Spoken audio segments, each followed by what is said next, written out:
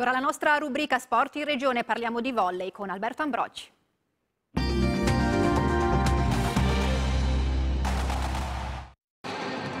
Dopo sei anni di Serie A senza palazzetto, costretti a giocare prima a Castellanza, poi a Bustarsizio, la stagione 2019-2020 sarebbe dovuta essere quella della consacrazione per la Power Volley Milano. Finalmente una casa, l'Allianz Cloud, ma per tutti resta il mitico Pallalido di Piazzale Stuparic, una tifoseria, una squadra giovane ma combattiva che arriva alle finali di Challenge Cup.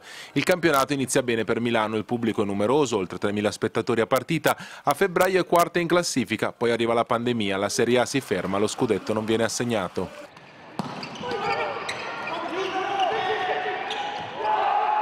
Settembre 2020 si riparte, Milano debutta in casa vincendo 3-0 contro Latina, tornano anche gli spettatori limitati a massimo 700 per sicurezza, controllo della temperatura all'ingresso e autocertificazioni, ma almeno si torna a giocare nonostante restino le preoccupazioni per la sostenibilità economica non solo della power volley ma di tutto il movimento pallavolistico. Noi non siamo il calcio, quindi non abbiamo quei grandi incassi non abbiamo neanche quelle grandi spese. Tuttavia l'anno scorso avevamo fatto molto ma molto ma molto bene e avremmo fatto ancora meglio la parte finale del campionato. Ovviamente questo incide.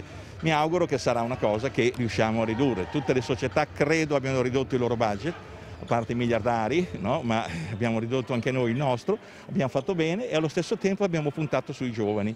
In panchina ha confermato l'esperto Roberto Piazza, sotto rete i punti di forza sono il giapponese Ishikawa, il canadese Mar, gli azzurri Piano, ormai capitano da tre stagioni, e il libero Pesaresi.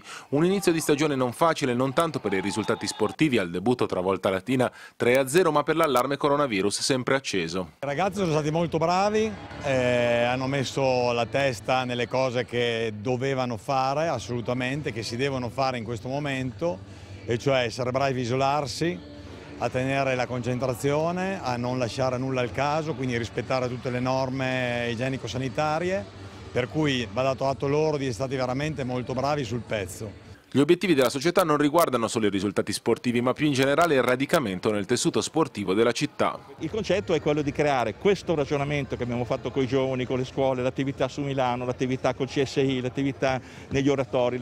Tutto questo è il nostro obiettivo, è il mio obiettivo particolare, un progetto che serva alla città. E allora, buona pallavolo a tutti!